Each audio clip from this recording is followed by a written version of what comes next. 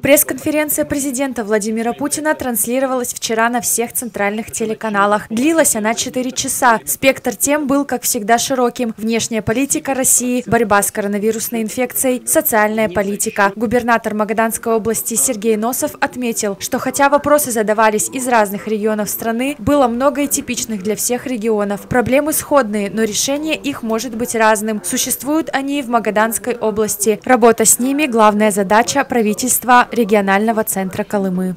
Позиция президента по этим проблемам, конечно, она принципиально важна.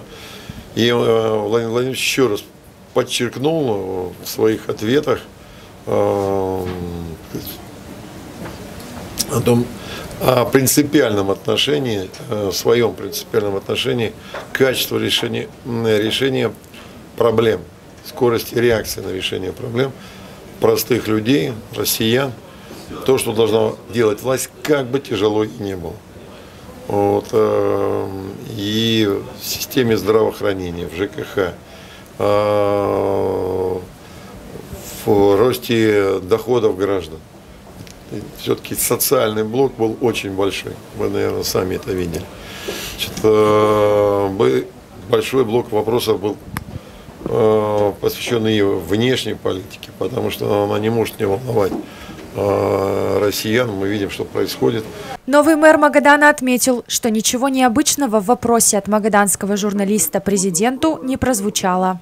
И Владимир Владимирович вообще, в принципе, ответил так, что действительно и э, глобальная политика, и региональная политика, и внутренняя политика Российской Федерации в течение всего года, конечно, была именно такая. И со знаком плюс, и со знаком минус. Э, со знаком минус, конечно, оценивали то, что э, у нас нежданно-негаданно пришла коронавирусная инфекция. И как и отмечено было на пресс-конференции, мы не знали, как с этой инфекцией бороться.